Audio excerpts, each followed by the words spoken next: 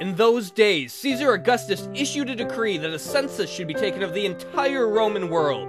This was the first census that took place while Quirinius was governor of Syria, and everyone went to his own town to register. So Joseph also went up from the town of Nazareth in Galilee to Judea, to Bethlehem, the town of David, because he belonged to the house and line of David. He went there to register with Mary, who was pledged to be married to him and was expecting a child.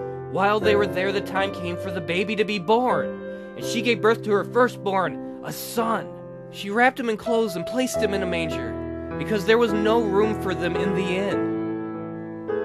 And there were shepherds living out in the fields nearby, keeping watch over their flocks at night. An angel of the Lord appeared to them, and the glory of the Lord shone around them, and they were terrified. But the angel said to them, Do not be afraid. I bring you good news of great joy that will be for all the people. Today in the town of David, a Savior has been born to you. He is Christ, the Lord. This will be a sign to you. You will find a baby wrapped in clothes and lying in a manger.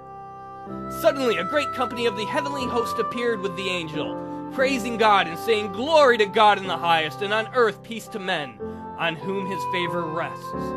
When the angels had left and gone into heaven, the shepherds said to one another, Let's go to Bethlehem and see this thing that has happened, which the Lord has told us about. So they hurried off and found Mary and Joseph and the baby who was lying in the manger.